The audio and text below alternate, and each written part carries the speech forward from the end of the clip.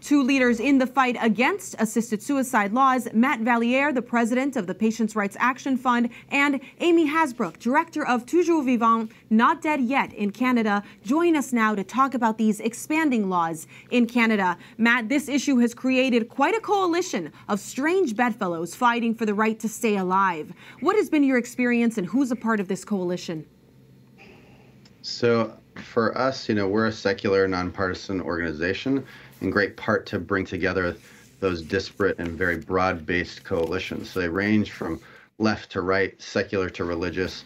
So you'll have um, progressive disability rights organizations and individuals, as well as um, medical professionals, ethics folks. You have bioethicists, in addition to uh, people who advocate on behalf of Latinos and other minorities, while at the same time going holding hands with various uh, stripes of religion, um, from Christian to Jewish and Muslim and even Hindus, um, opposing assisted suicide laws alongside of even people who uh, are atheist, and all because this is not really um, an issue that kind of springs forth from somebody's worldview.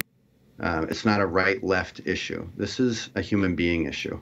And none of us in the opposition want to see people being coerced. That's where we see these laws um, putting pressure on people to choose death over care and creating a two tiered system of medicine that results in death to the devalued group. Choosing death over care. Well said. Amy, you're on the ground there. You're with Not Dead Yet. Why is this so important for disability advocates?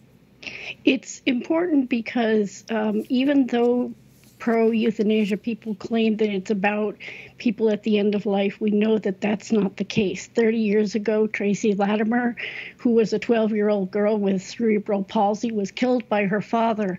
And there was a great outpouring of support for her father, not for Tracy, but for her father, who killed her because he decided that she was suffering too much even though in fact she wasn't suffering, she had there were other medical interventions that could have come along.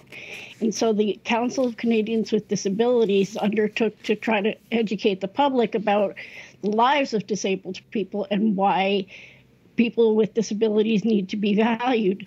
Unfortunately, that is not the way things turned out. And in um, though there were several proposed bills that would have uh, legalized assisted suicide and euthanasia. Um, the Supreme Court in 2015 decided that um, despite an earlier decision that said that um, the law that prohibited assisted suicide would protect people and that that was a legitimate uh, goal, the the court decided that um, it violated people's statutory rights to liberty and security of the person. We believe that disabled people, as the people who are all, um, every person who requests and receives assisted suicide and euthanasia has a disability. And so, disabled people, whether or not they consider themselves disabled, are at primary risk and need to be identified as such. Absolutely. And those on the front lines to identify them in that way are medical professionals. What kind of pressure are medical professionals in Canada receiving from government regulators or from their accreditation boards? Well, there's a lot of pressure. Um, just in June, um, when our province, Quebec, had originally adopted its euthanasia law, uh, palliative care services were ex- were allowed to uh, refuse to provide euthanasia, but the province just changed its law to uh, remove that uh, exemption. So it forces palliative care services, hospices, etc., to provide euthanasia if somebody requests it on their premises. And I am also working on a practice guideline that was issued in March quietly by the health by Health Canada, which um, loosens and further rescinds several of the protections that are supposed to be in the law without benefit of the uh, parliamentary process. An undemocratic way of getting that uh, passed through. Matt, then what are the options for medical professionals who face these pressures, regulatory and otherwise? So it's it's hard to to navigate a system where the thing is is topsy turvy.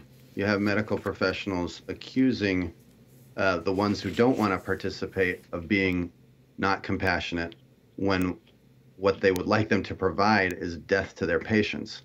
In a scenario where the Canadian government and the other entities and uh, jurisdictions where assisted suicide is legalized uh, the pressure to contain costs is immense on doctors, mm.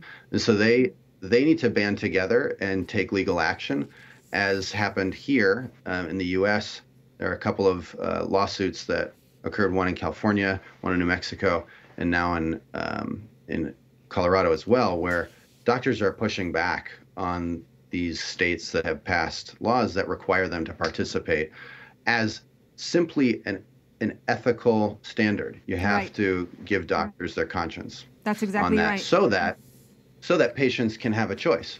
If you have a regime wherein people only have an option to go to a place where assisted suicide will be practiced, they can't rest assured that their medical professionals are not going to devalue their lives. And that's what many people with disabilities face in the medical setting. That's right. Well, Amy, let's talk about that legal action very quickly. We only have a minute left. In the U.S., we're seeing legal action to protect those who are disabled from laws that would limit access to care. Is there something similar happening in Canada, or is there no legal advocacy happening? There is some legal advocacy on the on the horizon. Um, there is there's an idea that we could uh, pursue the the Supreme Court decision that was issued in 2015, which said that a carefully designed system uh, would apply stringent limits that would be uh, scrupulously monitored and enforced. And that is what was supposed to happen. And our argument is that that is not what's happening. You also are, um, since Canada is a signatory to the con- Convention on the Rights of Persons with Disabilities. We're also pursuing an investigation, a possible investigation under the UNCRPD. Well, that's important work. Matt, what is quickly the status of the U.S. case in California where disability advocates are challenging California regulations that coerces those with disabilities into using medical aid in dying rather than seeking care? So, a lawsuit was filed in April to challenge uh, the assisted suicide law as inherently discriminatory, an ADA violation and a, violation of the Constitution. If that law, if that lawsuit is successful, um, it would overturn the California law.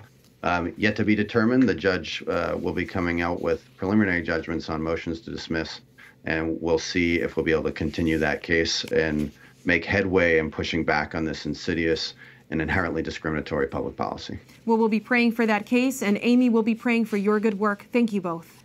Thank you. To learn Thank more you, about Montse. the work that Matt and Amy are doing in their fight to protect patients, you can visit patientsrightsactionfund.org and notdeadyet.org.